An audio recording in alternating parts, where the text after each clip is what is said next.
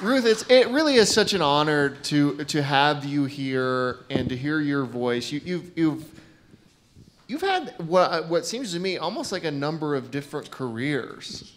I would say so. That's sometimes how I feel. Which hat am I wearing? What day? So when you were going to school, what did you want to be? So, to be honest, I wasn't sure. I, I knew I liked words. I knew I liked writing. I knew I liked storytelling. So, journalism kind of was where I was headed. Um, but I remember going into a class at BYU, and they said, there are more people in the journals in the broadcast journalism major across the United States than there are spots in the country to get a job. And so they said, it's very, very difficult, think very, very hard. And interestingly enough, for all of the students in that class that didn't really listen and thought, I'm going to be one of those kids that gets one of those few spots, uh, within just a few years, there was this, you know, profusion of new cable channels. That wasn't on the scene then, but in very short order it was. And every one of those kids that wanted to go into that could have gotten a job, you know, if they just had kind Right. of gone down that path. Interesting. Yeah. And so you did that for how long were you? Like you were the lead anchor at uh, it was Channel Five, right? Yes. So my first job right out of school uh, was at KUTV Channel 2. That was the first person that gave me a job, first station, and I worked there just one year. And then I was able to go back to Arizona. I grew up in Phoenix and worked for the ABC station and worked there for a few years. Then my husband's job transferred us to Washington, D.C., and so we went back there for about six years. I worked for um, ABC and CBS back there. And then we moved back here. His job again transferred us here. And then I came back, and I thought I'd go back to Channel 2 because that's where I had worked before, but they were actually on the um, auction block. They were being sold. And I called KSL and said, Would you be interested? They said, You're coming from a top 10 market. We usually lose people from our number 30 something market to get to a top 10. You're going the other way. We'd love to have you. Um, anyway, so I came there, worked there for 10 years. Then I worked at Channel 4 for five years. So I've worked every place but Fox News in, in Utah. Yeah. That's great. Um, And the 10 o'clock for 15 years. So I was the voice of death and destruction in your living room for 15 years. Sorry about that. I hope I got some good news in there as well. What would you have people know about the state of media, the state of journalism? Uh, I have a lot of entrepreneurs or, or CEOs reach out and they'll get like an inquiry from a media outlet or a journalist, and they're not like really sure if it even matters, if it's worth their time to respond, what the impact would have, and in terms of telling their story. What would you have them know? Well, I would say when you get an inquiry, it's always worth it to answer and engage, unless it's a completely unreputable organization. But think about it this way if a story is going to be told, who do you want to control the narrative? If you tell the story, you get to control that narrative, or at least have a significant voice in that narrative. And you want to tell your own stories. And sometimes we're not that good at telling our stories, but it's really critical that we're out telling stories.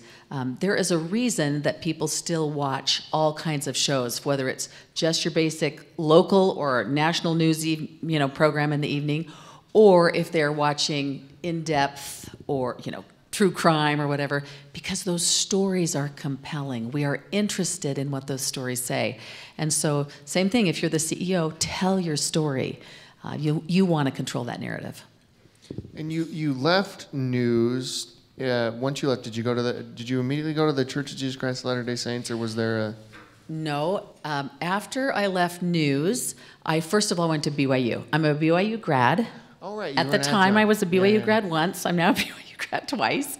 Um, I went to BYU and was an adjunct teacher in their journalism, which was so much fun because I was re energized by those wonderful students who were so much better than I was, you know, from my time in the 80s. They were so smart and they were global thinkers and they were digital natives, right? I will always speak with a digital accent because I'm a digital immigrant. Um, I started, I never had a computer in college, and I started my career with a manual typewriter, right? But these students just, it was so fun to be around these BYU students because they, they understood the importance of a service piece and a purpose piece to what they did.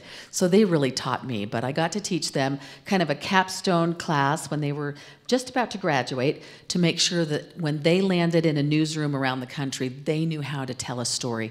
They knew how to put it together. They could anchor it. We made everybody do the weather because, you know, you stand up without a script and can do the weather. We did those kinds of things. So that was really fun for me, and I did that several years.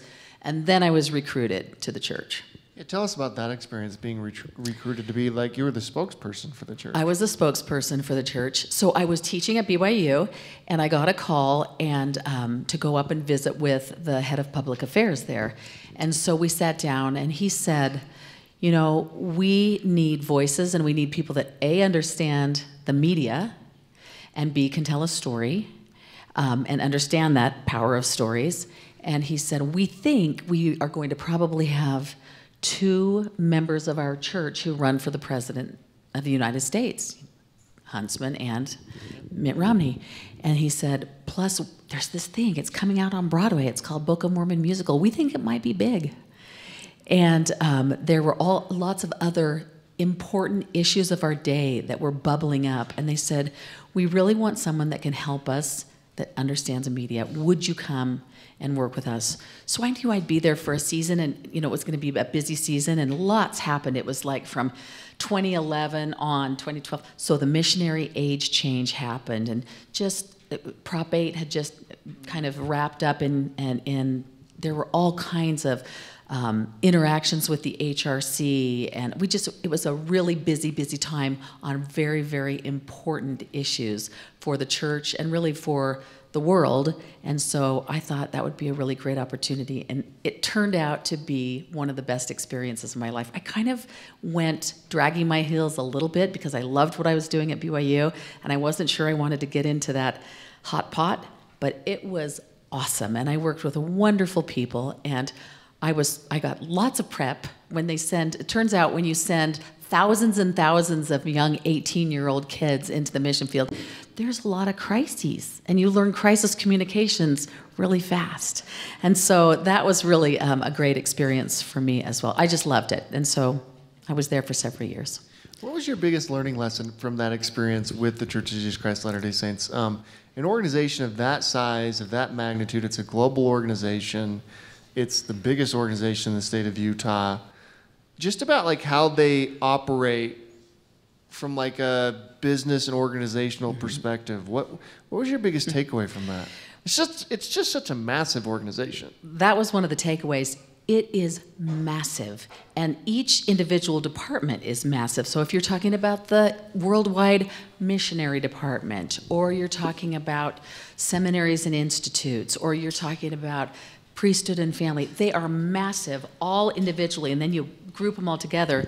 And I remember thinking, you know, we're not perfect. We make mistakes. We're just regular people trying to run this massive thing. Um, but it's kind of miraculous that it runs as well as it does and moves forward and takes care of all that it does around the world. And I think that what I loved is that being in public affairs, I got a little bit of an extra glimpse of seeing the great service that a lot of people miss, that a lot of people don't see, um, that was done by members of the church, uh, partners of members of the church, people, you know, groups and organizations that we partner with, Catholic Community Services, Red Cross, Red Crescent, all those around the world to do good. And I think one of my takeaways was the goodness of people everywhere. And when we look for them, we find them. And when we partner with people who might be a little bit different than we are, we learn from them. And it is really incumbent upon all of us. This is my own personal, you know, philosophy, but I watched it and I saw it work. That it is incumbent upon every one of us to try to um, reach out, reach across, build bridges, and do things that make the world better, that lift people one at a time. Yeah. How'd you get to Nu Skin? So I'm just going along, minding my own business at the church, and I got a call from um, the head of HR at Nu Skin, and he said, would you come talk to us? And I said to my husband, I said, you know, I'm not going to go take a job at Nu Skin. I live in Salt Lake. The headquarters are in Provo. I like my job here, you know, but I've heard amazing things about the founders and the people at Nu Skin for years and years, and I'd used their products. And, you know, you can't live in Utah very long and not know something about Nu Skin. It's almost 40 years old, and it's just been a great economic engine and all these things. It's in 50 countries. So I said, I'm going to go meet them at least. And I spent the day with the then CEO, who was Truman Hunt at the time, and one of the founders, Steve Lund. And I got back in my car and I got on my phone and I said to my husband, I think I'm going to have to take this job. And he said, What? And I said, I just, I can't tell you exactly why, but I know I need to take this job. I need to have this experience with these people around the world. And it has been, and I said, I'll probably just stay like two years, maybe three. I'm just about to hit nine. And I've just been learning since the day I set foot at Nu Skin. I have loved it. It's been an amazing opportunity. Well, and the company has transformed a lot since you've been there. Like uh, a lot of people don't realize how much of a tech company Nu Skin is now. Right. When you think about companies that are 40 years old, if you haven't evolved, you're in big trouble. And so there have been multiple iterations, and we've had, I think one of the main things is we've had tremendous leadership with vision. So whether that's the original founders of Blake, Steve, and Sandy, or the um, subsequent CEOs and leadership teams they have had, they've been really, really capable and pretty much visionary as well. And so we have Ryan Napierski leading the way now, and he has a tremendous vision. And whether you are a born tech company or not, you have to be tech enabled, you have to be tech powered. And that's what we're doing at Nu Skin. And in this world of social commerce, I mean, social commerce has disrupted e commerce, and that's where people are going. Why? Because we care about what people say, that we trust people and we trust people that we know and we like i mean we like to think of ourselves as one of the original social networks because think about it it used to be one to one face to face we still do that we just do it online but we understand the power of personalization the power of customization the power of taking care of your customers and putting the customer at the center of everything you do. You just get to have technology help you so your reach is just enormous and endless I do these interviews a lot, and uh, the feedback I always get is like, "Why don't you ask what the company does?" And I just like assume like people know what these companies do. Um, so, what does Nu Skin do? Tell everyone what Nu Skin does. Nu Skin is an integrated beauty and wellness company. We operate in, like I said, about 50 countries around the world. We have two areas. Uh, we have um, beauty and wellness. So we, we, like to think of ourselves as integrated. We work on inside and outside. So sometimes that means, like for instance, ingestible collagen. Right now, that's a big product.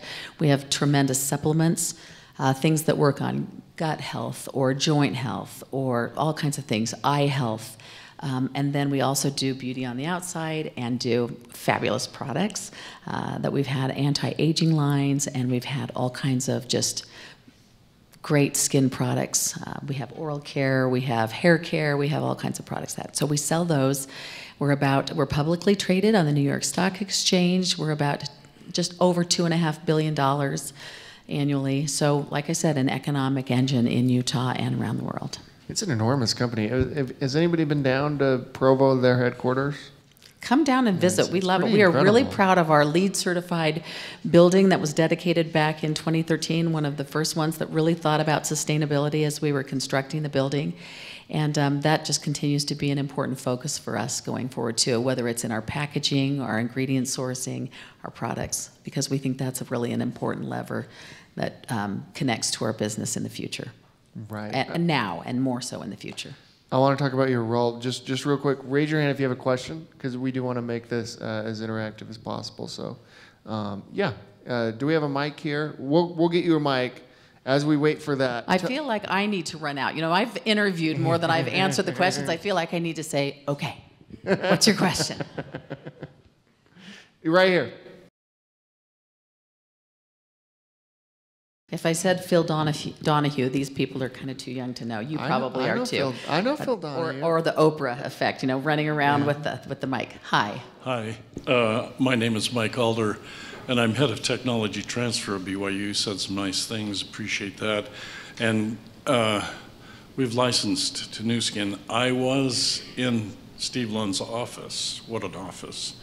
Um, the day that the tabernacle burned and that was quite a day. And now to have that uh, edifice that's come in its place is amazing, the temple. Um, just honored to have the relationship with uh, both Nu Skin and BYU and what you're saying today. Thank you. That's very kind of you. I will say this when it comes to, I don't care if it's journalism or business or these kinds of days where the news hits your business. But the thing that I think I've appreciated most, and I saw this at BYU, I see it at Nu Skin, is that people care, good people are trying to do good things to make the world better. And I, I, I, you saw it if you were up in his office. That's who Steve is, and that has permeated through the company. Blake's the same way. Sandy's the same way. You know, the the mission of Nu Skin is that we try to empower people to improve lives, and that means all of the lives on all the levels. That means the employees. That means the people who sell our products. That means the people who use our products, and that means the people who are touched by our foundation and the other good charitable works and uh, initiatives that we do. Were you at the company when the tabernacle burned down? I was not. No. Has- has people been down there since? Come down, come Like, visit. by the way, Provo's just incredible. Doesn't get enough just, credit. we love being right there. You know, people say, now where are you located? Right at the corner of University and Center Street. 75 West Center Street is our address. We love being in the heart of Provo. We love Provo, Utah. Yeah, it's really it's it's becoming a pretty happening place. Center Street in Provo. It's pretty cool. Uh, what, who who else has a question? Yeah, right here. Hi. Um, so I was feeling concerned as I was reading this article about these new um, disinformation agencies. I, I don't know what to call them, but like clients could hire them and they would intentionally saturate the internet with incorrect information to suit the client's purposes. And when I think about the everyday consumer, you know, how do you if we're trying to get factual information to make our business decisions, you know, to navigate clear sources or courses, sorry, um, I get kind of concerned thinking this would probably increase over time as there's um, fights over mind share maybe. Have you run into any of that or do you have any ideas on how we can? You know, I watched that carefully, and we started down the path a little bit about the way that the media has changed, and it's changed dramatically. And I remember I couldn't even put a story on at 10 o'clock if I didn't have two corroborating sources, get both sides of everything. Um, you don't see that as much today. And, and, you know, anybody can throw up a beautiful website but be broadcasting out of their base. It's really hard to know uh, what sources to trust. And so you have to be vigilant. And for me, I like to um, consume a wide range. So I feel like I read and consume left to right and, and as much as I can in between. Um, what you're saying is how, you're, what you're asking is what, how do you know how to differentiate? It's hard. It's hard, but, but I will tell you, I deal a lot in reputation. Over time, reputations are built, and in sometimes moments, reputations fall. And so you watch carefully to see what the chatter is around those, you know, and uh, those different entities. And you look carefully and you try to look at a broad spectrum as you're looking. Um, but there is disinformation. I think that as algorithms change, I mean, we're and, and you know, in, info security, infosec is is getting better. We're trying to get better at shush, you know sussing them out and understanding what you can trust and what you can't. But that's going to continue to evolve. It's going to be a whack-a-mole in a little, you know, in a way that you just are going to have to continually find out ways and watchdogs to um, see who you trust. Um, it's just it's a different it's a different industry. In fact, one of the most interesting differences is we used to hold you hostage. And by that I mean, if you wanted to um, get the weather, we held you hostage till quarter after. We didn't say one thing except for Mark Eubank would get on in his white coat and tease that it might snow. We'll tell you about it a quarter after. And if you wanted the sports scores or to see the high school highlights, you're held hostage till 25 after. We told you, we kept you coming to us. But now, I don't have my phone with me. Now everybody has a smartphone and a very powerful computer in their house, in their hands. They don't need us. They don't need to wait till nobody. Your generation does not wait, and they rarely watch the news. It used to be part of my generation's daily They did it on the daily. They don't do that anymore. And so, with that, again, you need to curate sources you trust and be mindful of what's out there. And you can do some digging on sources to find out is this a trustworthy source? You know, and there's a lot of information. So I think some of it is just um, it takes some extra due diligence. And then, like I said, look at a broad spectrum. Does anyone watch the local news? Okay. See? I remember one time we had uh, Mark Zuckerberg come I remember. To- I was there. to I came- Summit. You yeah, remember I- this? Uh-huh. And someone told me, I think it was like my wife's uncle, maybe. Like, hey, uh, you're going to be on the. They, they keep teasing that you're going to be on the nine o'clock news. Uh, because uh, uh, not me, but like me interviewing him, right? And like you're you're going to be like the lead story on that. And I honestly had no idea how to watch that, what channel to go to, and then so obviously I missed it, and then I couldn't find it after. right? Like I oh, don't know. Oh, Is- Clint, that call is me, that normal? Call me next time. I'll help you through Okay. it. I didn't know what to do. Uh, anybody else have any other questions? Yeah, right here. Oh, Cynthia, how are you? How are you? Good to see you. Um, would you explain uh, how Nu Skin came about being a, a really force for good in the world? And uh, what was the incentive uh, from the top down, right, to, to become such a um, influence uh, in the nonprofit world and through your nonprofit, you know, uh, sector of the organization, and why uh, you think that corporate America should follow your lead? Okay, that's a kind question because I think you know a lot of what we do, Cynthia. You work in the same space. But I'll tell you a couple things first of all. Nu Skin has a foundation, a Force for Good Foundation. That is our nonprofit arm. And most people in Utah probably have no idea that uh, we have in Korea and Japan New Hope schools and um, New Hope libraries. In China and Southeast Asia, we have a Children's Heart Fund that has um, done, help me, Rod, 16,000? 16 to 17,000 life-saving heart surgeries for children that have saved their lives. Um, that you don't know that we um, have we have had an eyeglasses and screening program here in American Latin, Latin America largely.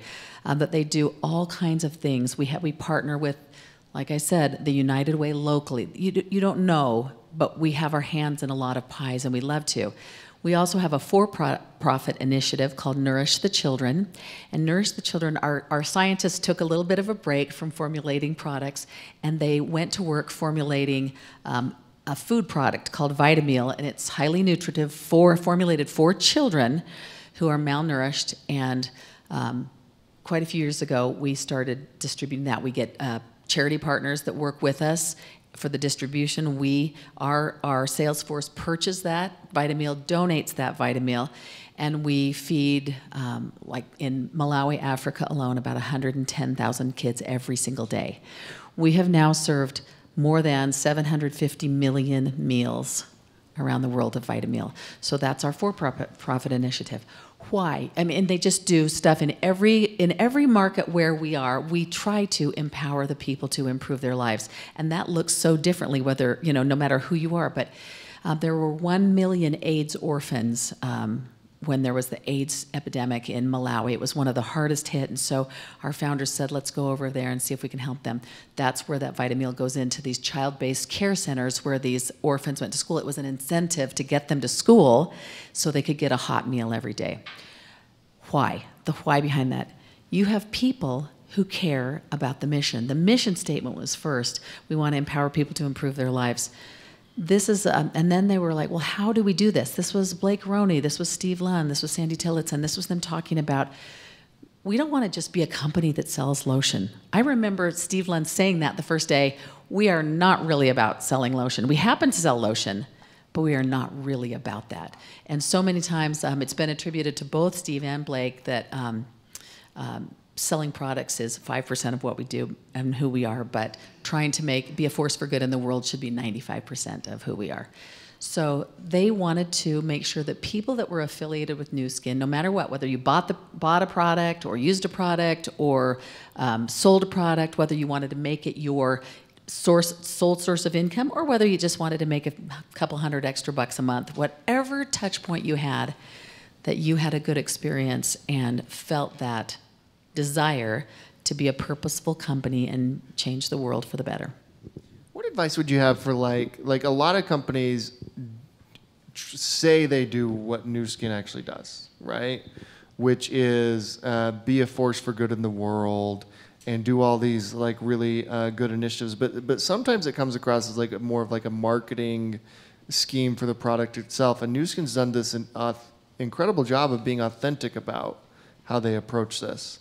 What advice do you have for those who are like building these types of companies who want to do good, want to give back, to make it ingrained in the culture from the beginning and in the mission from the beginning, and not to feel like, yes, we do this, but also, mm-hmm. you know, our, our main goal may, may be to just get you to buy our stuff. When you go into business, think about the word business. You're in a business to grow, to make revenue. That's what you do it. You have to have a healthy, vital business to be able to, you know, do some extra good. So you have to have focus on that core business. But when you're starting out, ask yourself some important whys. Why could what we're going to do matter to people? Why and how could it make people's lives better? Like instead of just pumping out this widget or whatever, what could we do? What could we connect it to um, to make a difference?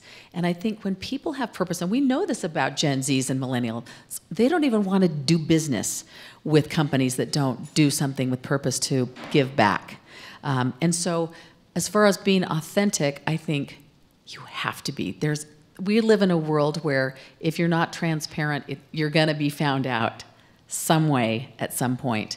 And so I think you try to start from your foundational days of being authentic. You know what? We have good days, great days, and we also have bad days.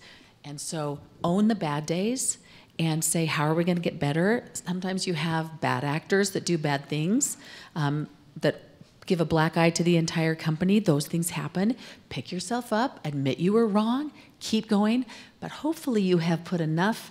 Uh, depo- you put enough deposits in the bank of really trying to be authentically good that it will override a few bad actors that you know sometimes leave a blemish. How does Nu Skin choose the projects and initiatives it works on? I mean, there's so many problems in the world. How do you, like, how do you choose the Mal- Malawi thing? Like, how, how does that, like, where does that come from? Well, I think our founders saw that that was out of when there was this crisis in Malawi. There was this famine in Malawi, and Malawi got for a minute, you know, it had quite a bit of world attention, and we went over to try to make a difference there. But we really want the people that have touch points with Nu Skin around the world to decide where they are. So it wasn't Provo, Utah that came up with the Southeast Asia Children's Heart Fund or the China Greater China Children's Heart Fund. It was the people there and they said we can make a difference here. So, so I think that the local markets, the local areas, they, they decide where they can make the most difference, and and we're supportive. That's very cool. Do we have more questions? Sounds like you are aware of day after day all the good stuff that happens at the organization you're at. When you have a really bad PR press cycle day and you're probably frustrated this is getting more attention than the last 100 days straight of awesome things we did.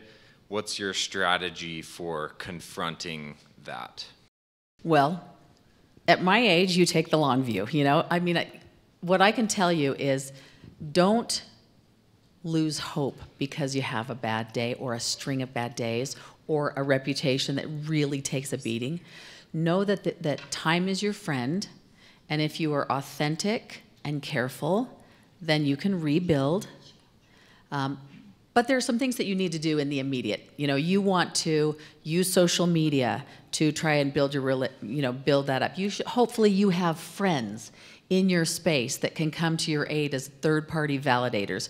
You know, I can tell you all day long about my brand. That doesn't build my reputation. What builds my reputation is third parties saying what she said. that's actually true. And so you you make sure that you have have friends along the way that will come to your to your defense when you have those things. And then, like I said, you leverage social media. You leverage. Um, you might put out a press release about something good you're doing. You you know you put you know you work on your SEO and try to put the bad down and bring the good up. Just the normal things that you would know that you would do. Um, but you keep doing the good stuff. You know, that works from a personal standpoint as well as a company standpoint. You just keep trying to um, have more good than bad. And over time, time outs truth. And if you're doing authentically good things, that will come out over time because time will out the truth. What does the future of Nu Skin look like? Well, I hope really bright. We are, we are, um, and have been for several years running uh, by Forrester, known for being the number one in the world um, at-home beauty device system, and we have got fabulous connected devices coming. Um, right now, we're just we've got we've got the LumiSpa, which is a cleanse and treat. You've probably seen it around on um, social media and, and uh, in traditional media places as well. That's going to be connected, and so um, you're going to get tech that enables how you have, you know, what you do in your daily routine. And so we have other devices that are coming. We're really excited about the tech piece, the tech play, and being a, a device systems company as well as good products. We'll continue. We have great scientists. That's that's one thing. If you don't have great products, you go out of business. If you don't have people that buy and then repurchase because they love your products, you go out of business. We have science-backed products, gr a great team of scientists that keeps putting out wonderful products. So I think, you know, we hope we just keep growing around the world. Final question. What advice do you have for those who uh, want to have the career that you've had? Mm. Like all of these various uh, incredible job opportunities and these these credible positions that you've held. What advice do you have like for them on how to navigate that, how to set themselves up for something mm. like that? Well, I would say a couple of things, and that is, I when I was teaching back at BYU, the first day of class, I always would tell my students, I can promise you that your life will not unfold the way you think it will unfold. It won't. It just won't. However, if you have a growth mindset, if you're open to change and some a few bumps in your path and a few curves in your road, then even though it doesn't unfold the way you want it to, it can unfold in the most beautiful, lovely ways. And if you're open to learning new things and pivoting and and taking the hard days as learning days and the hard experiences as learning experiences, then I think you're going to have a fabulous career. If you would have told me 10 years ago, you'll, you'll go to Nu Skin, you'll feel like you don't have financial literacy because you don't, and so you'll go back and get an MBA, I would have said, You are crazy. I never took accounting at BYU, I took the journalism classes. But life is interesting and throws you curveballs. And so when I went to my bosses at Nu Skin and said, I need to go back and get an MBA because I need financial literacy. I don't have to run your P&L, but I have to understand what's going on here. They said, we support you. We think that's a great idea. So stay open, stay um, flexible. Um, know that, that you will learn more from the hard days, right? You will learn more from the hard experiences than life just going along swimmingly. Life won't go along swimmingly, it will be hard. But if you just stay true to your core, know who you are, what you stand for, and um, keep that core strong, and then stay open with a growth mindset, I think you'll be just fine. Ruth, what an honor to have you here. Please give it up for Ruth Todd there.